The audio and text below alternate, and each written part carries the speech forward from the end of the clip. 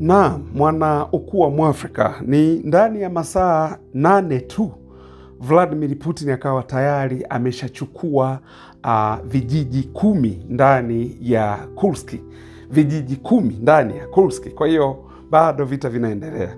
Na mimi majina yangu naitwa Isaya Benson Mwakilembe, mimi tu kukuletea habari na taarifa zinazoendelea katika uwanja wa vita, hususan huko uh, Ulaya Mashariki ambako tunaangalia vita kati ya Urusi na Ukraine, ya Urusi dhidi ya Ukraine.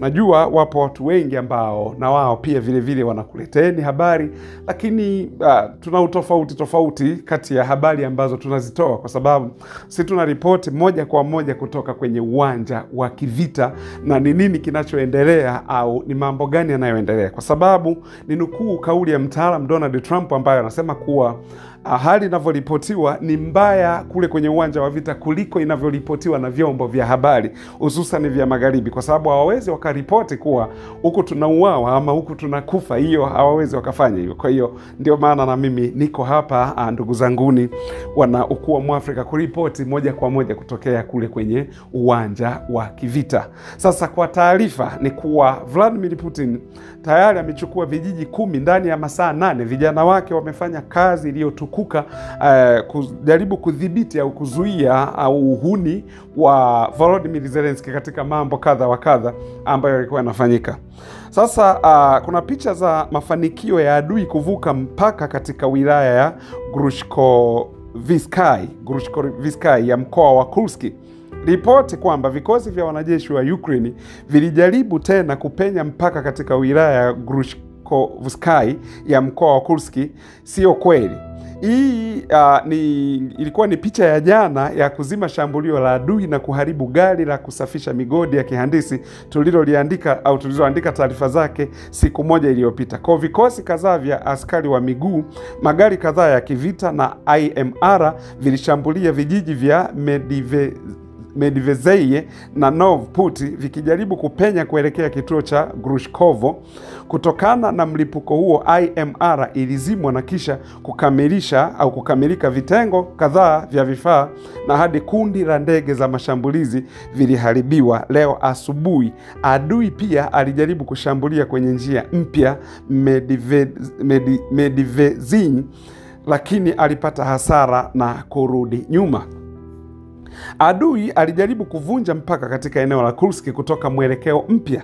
Maelezo ni kuwa wizara ya ulinzi ya Urusi katika mustasari wake wa kila siku inathibitisha taarifa zetu kutoka jana kuhusu mashambulizi ya vikosi vya wanajeshi wa Ukraine magharibi mwa eneo kuu la operesheni za kijeshi katika eneo la Kursk katika wilaya ya Grushkovsky kwa msaada wa jeshi la anga na ufiatuaji wa risasi, majaribio manne ya adui kuvunja mpaka wa Urusi kuelekea makazi ya Novput na Medvezeye yalifukuzwa. Hasara za adui zilifikia watu hamsini na tano waliouawa na kujeruhiwa, mizinga minne, uh, wabebaji wa bunduki watatu ya, na magari nane ya kivita na magari mawili ya vizuizi vya uhandisi.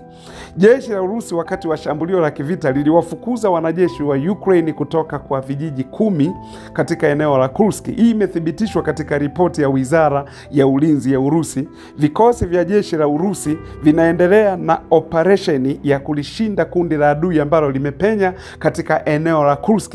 Wakati wa operesheni za kukera, vitengo vya kundi la vikosi vya kaskazini vilikomboa makazi kumi ndani ya siku mbili: Apanovoska, Biakovo, Vinishevka, Viktorovka Vineza, uh, Vinezaponoye, Gordeyevka, Krasnokratboriskoye, obukovka obu, obu, obu, Sagosti na Oktoba.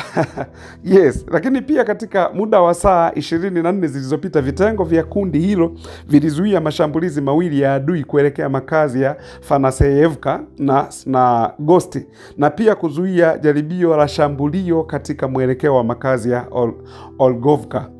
Kama matokeo, wanajeshi wa Ukraine walipoteza hadi wanamgambo ishirini waliouawa na kujeruhiwa, gari la kivita na gari liliharibiwa sana, gari zingine ziliharibiwa, na mpiganaji mmoja wa kikosi cha wanajeshi wa Ukraine alijisalimisha.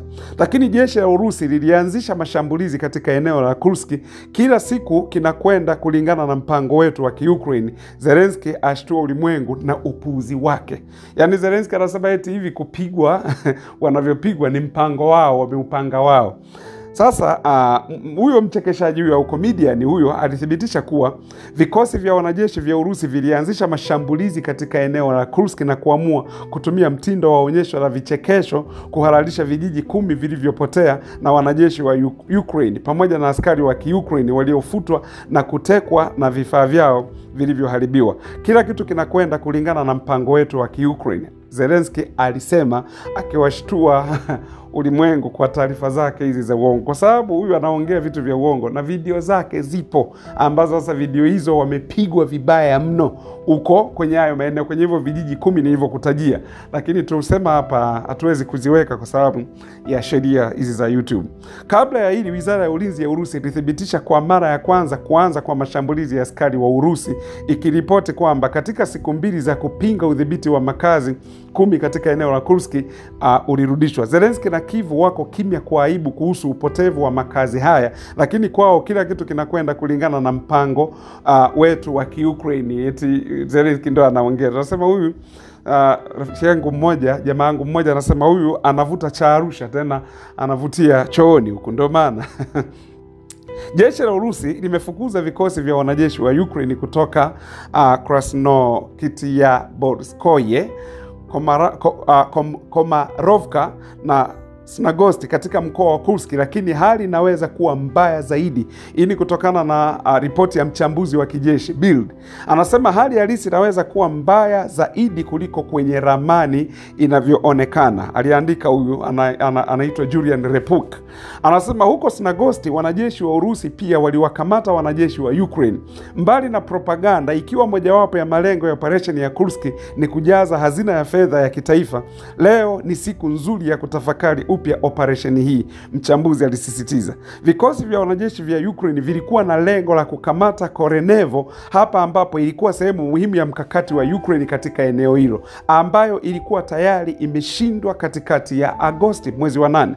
Anazungumza juu ya kutofaulu kwa mkakati wa kikosi cha wanajeshi wa Ukraine licha ya ukweli kwamba wachambuzi wa magharibi bado hawajagundua kuwa wanajeshi wa Urusi walikomboa vijiji kumi na sio vitatu. Na Zelensky alisema leo kwamba uvamizi wa Urusi katika eneo la Kursk unaendelea kulingana na mpango wa Kiukraini. Zelenski amechanganyikiwa huyu, akili hana huyu ndugu yenu huyu. Je, kila kitu kinakwenda kulingana na mpango? Baraza la mawaziri la, na, wa, na IMF lilihesabu bajeti ya mwaka huu kwa kuzingatia ukweli kwamba vita vitaisha katika msimu wa joto wa mwaka 2024. Hii ni waziri mkuu wa Kiukraine, lakini asema matokeo yake bajeti ni fupi, nusu trilioni kwa jeshi ambayo inakusanywa kwa kuongeza kodi kwa wakazi.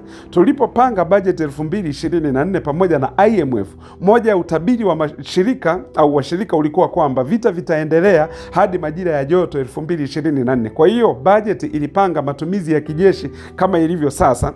Uh, Shaim, uh, Shaimhar alisema katika mkutano na waandishi wa habari. Bajeti ya 2025 tayari imepangwa pia na IMF. Mnamo Julai, waziri wa fedha pia alisema kwamba utabiri kuhusu vita vinavyoisha mwaka wa 2024 haukutimia na utaendelea mpaka elfu mbili na ishirini na tano tukiwaambiaga siku zote kuwa IMF na wao wako hapo wanafadhili vita, watu wakawa wanatukatalia. Hii ni kauli ya waziri mkuu wa Ukraine, ambapo anasema wakiwa wamekaa pamoja na IMF, ili shirika la fedha duniani, na lenyewe ndilo linalotoa fedha kwa upande wa Ukraine, lakini utabiri wao ulikuwa ni elfu mbili na ishirini na nne msimu wa joto ndio vita viishi, lakini vita bado vinaendelea.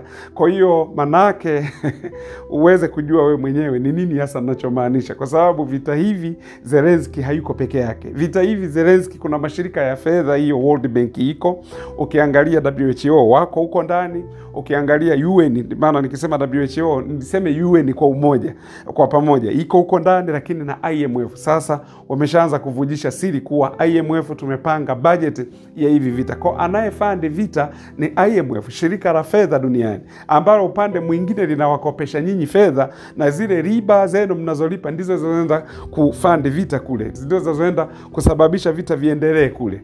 Ndio maana ninanukuu kauli ya Tupac aliwahi kusema aki, wakati wa uhai wake kuwa hawana fedha za kulisha masikini, lakini wana pesa za kufadhili mauaji, wana pesa za kufadhili vita ili watu wafe. Sasa haya kama sio mashetani ni nini? Mwanaukuu wa Mwafrika, ninakushukuru sana kwa kuendelea kutufuatilia katika chaneli yetu hii. Asanteni sana.